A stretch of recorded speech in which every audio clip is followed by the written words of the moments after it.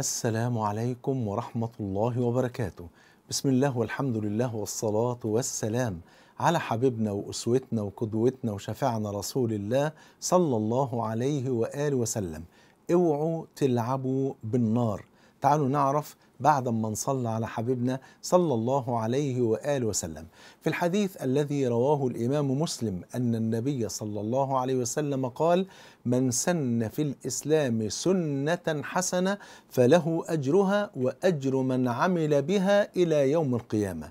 ومن سن ده في المقابل بقى ومن سن في الإسلام سنة سيئة فعليه وزرها ووزر من عمل بها إلى يوم القيامة.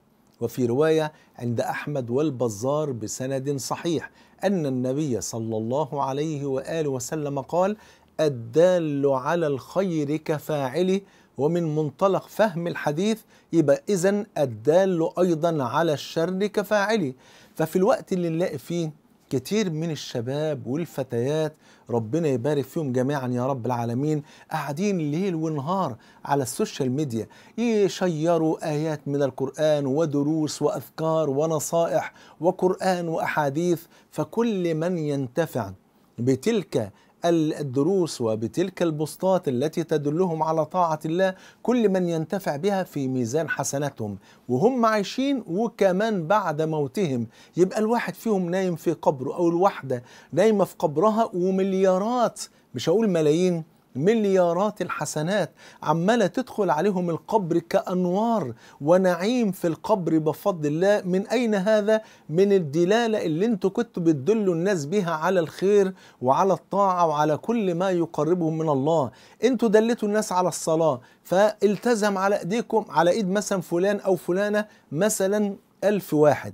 كل لما الألف دولت يصلوا في ميزان حسناتك وانت نايمة في قبرك. طب الألف دولت يتجوزوا وخلفوا كل لما يصلوا هم وزوجاتهم وأولادهم وأحفادهم يبقى في ميزان حسناتك إلى يوم القيامة. كل ده عمال يدخل عليكم في القبر. أنوار وبركة وخير ونعيم بفضل الله. في المقابل بقى في بعض الشباب وبعض البنات ليل ونهار بيلعبوا بالنار. قاعدين يشيروا أغاني وصور وأفلام فاضحة وكليبات وصور فنانات وكلام بذيء واللي بتشجع البنات على خلع الحجاب واللي بيعلم أصحابه شرب المخدرات واللي بيعلم أصحابه إزاي يفعلوا كذا أو يفعلوا كذا من المعاصي. كل ده بيتكتب في ميزان سيئاتهم في حياتهم وبعد موتهم عياذا بالله. يبقى الواحد فيهم طول ما هو عايش عمال فلان بيعمل زي ما هو دله. دله إزاي؟ يشرب الخمر أو المخدرات. كل من شرب الخمر أو المخدرات بسبب اللي هو بيقوله ده يبقى في ميزان سيئاته. واحدة بتدل البنات على خلع الحجاب. كل اللي تخلع حجابها في ميزان سيئتها وكل من يفتن بالبنت اللي خلعت حجاب في ميزان سيئات اللي دلتها على كده.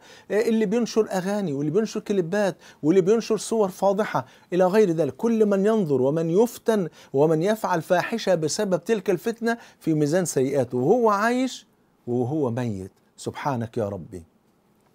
يبقى نايم في قبره وعياذا بالله وداخل عليه سواد ربنا يعافينا ويعافيكم وسيئات وداخل عليه زيادة في العذاب.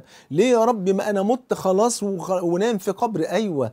ما انت دلت الناس على الشر ومن سن في الإسلام سنة سيئة فعليه وزرها ووزر من عمل بها إلى يوم القيامة. ما هو النبي قال الدال على الخير كفاعله. وأنت ما دلتش على الخير ده أنت دليت على الشر فالدال أيضا على الشر كفاعله. تخيلوا حضراتكم لما يكون واحد في يعني في يوم من الأيام كان فاتح صفحة على الفيسبوك وصفحته كبيرة سبحانك ودي قصة حقيقية. فإيه كان بينشر على الصفحة دي على طول صور بنات عريانة وبنات بمايوهات وكليبات وصور فاضحة وحاجات بذيئة وبيدل الناس على الفواحش إلى غير ذلك. مات هذا الشاب. مات في عمر الثلاثين من عمره. حاجة وثلاثين أو ثلاثين في الحدود دي كده. تمام؟ اللي ربنا يقدر إن إخواته يحاولوا يشوفوا أي طريقه عشان يعرفوا ال password بتاع الصفحة عشان يقفلوها مش قادرين يقفلوها. لأنه ما كانش بيدي الباسورد ولا ولا ال Gmail ولا أي حاجة لحد من إخواته. تمام؟ فضلت الصفحة مفتوحة وما زالت مفتوحة محدش قادر يقفلها لأنه هو ما اداش الباسورد لأي حد. تخيلوا حضراتكم من غير ما نعلم من غير ما نعلم علم الغيب. تخيلوا هو في قبره دلوقتي.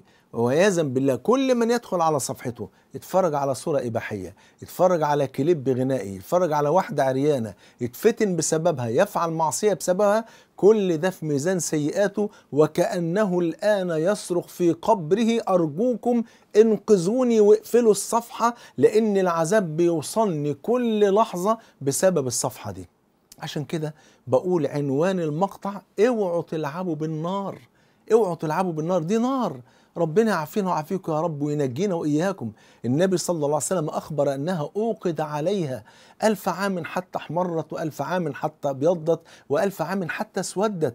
أخبر النبي صلى الله عليه وسلم وقال ناركم هذه التي توقدون عليها. هي جزء من سبعين جزءا من نار الآخرة. قالوا له يا رسول الله وإن كانت نار الدنيا لكافية. يعني لو هنتعذب في الدنيا في الآخرة بنار الدنيا كفاية دي بتساعد الحديد والصلب. قال بلى. آه فعلا. ولكنها يعني نار الآخرة فضلت عليها يعني فضلت على نار الدنيا بتسعة وستين جزءا كلها مثل حرها. دي رواية مسلم. رواية أحمد ناركم هذه التي توقدون عليها هي جزء من مئة جزء من نار الآخرة. النبي صلى الله عليه وسلم كان, جال كان جالسا بين الصحابة في المدينة المنورة وفجأة سمع صوت وجبة يعني سقطة حاجة كده بتخبط في الأرض. فقال أتدرون ما هذا؟ قالوا الله ورسوله أعلم. قال هذا حجر ألقي من على شفير جهنم من على شفير جهنم. حجر بقى من الأحجار الضخمة جدا. فما وصل إلى قعرها إلا بعد سبعين سنة. تخيلوا حضراتكم لو الواحد واقف فوق برج إيفل ولا برج خليفة ولا برج القاهرة فوق مكان عالي ورمى حجر حجر كده في حجم اليد تمام؟ لو رمى الحجر ده هيوصل الأرض في قد إيه؟ في ربع دقيقة بالكتير في نصف دقيقة. فتخيلوا لما يكون حجر ضخم بقى اترمى فما وصل إلا بعد سبعين سنة. فتخيلوا قاع النار شكله إيه؟ عافانا الله وإياكم. عشان كده بقول دلوا الناس على الخير ما تدلوش الناس على الشر. اللي عنده صفحة بيشير عليها حاجة تغضب الله خد بالك وارفق بنفسك. والله ارفق. خاف على نفسك لأن أنت النهارده عايش تقدر تقفل الصفحة لكن بعد ما تموت مين هيقفل لك القناة؟ ومين هيقفل لك الصفحة؟ ومين هيقفل لك الأشياء اللي أنت بتدل الناس بيها على معصية ربنا؟ تبقى في قبرك وعمال بتتعذب وبتصرخ يمين يقفل الصفحة علشان ما يزيدش العذاب عليا. لما العكس بقى اللي بيدل الناس على الخير وعلى طاعة ربنا وعلى الصلاة وعلى الذكر وعلى الحجاب وعلى القرآن وعلى بر الوالدين وعلى صلة الأرحام كل اللي يعمل بالخير اللي هو بيقوله كله في ميزان حسناته ينعم في الدنيا وينعم في القبر وينعم في الجنة إن شاء الله. جمعني الله وإياكم مع الحبيب المصطفى صلى الله عليه وآله وسلم في الفردوس الأعلى بحبكم في الله والسلام عليكم ورحمة الله وبركاته.